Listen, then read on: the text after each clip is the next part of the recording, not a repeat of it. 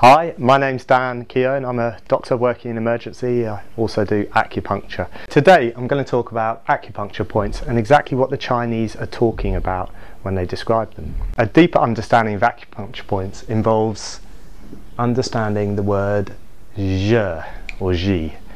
This is the Chinese word for acupuncture points and this character ji is also used to mean a lymph node and Ji in fact means a node or critical junction.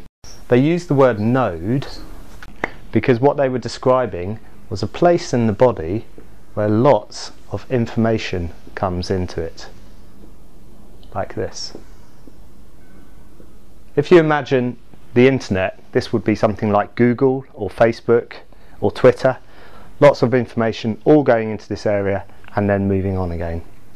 To understand what the Chinese were talking about and where the acupuncture points come from, we need to look a long way back. In embryological terms, it's about 600 million years, because that is the point at which our cells started to live together.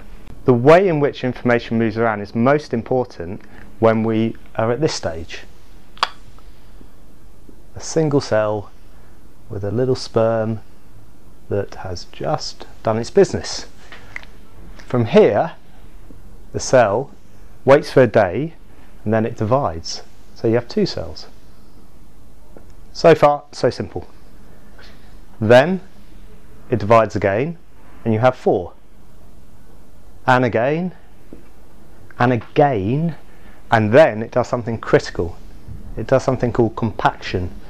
And IVF scientists know well about compaction because this is the critical part where basically this ball of cells will go on to form a baby. And the thing that makes this compaction happen is electricity. From there, the ball of cells forms a yolk, and from that yolk, it then forms two yolks. And then things start to get really complicated.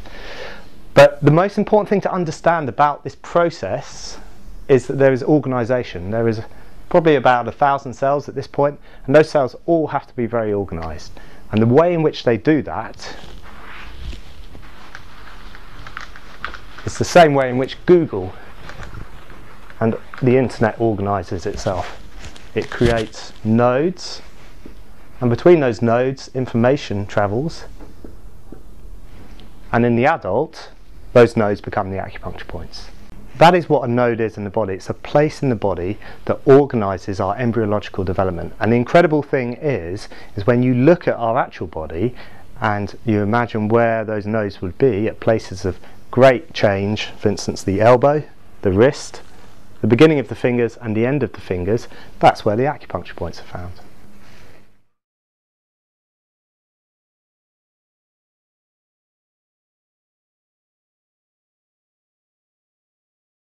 Very clever. okay.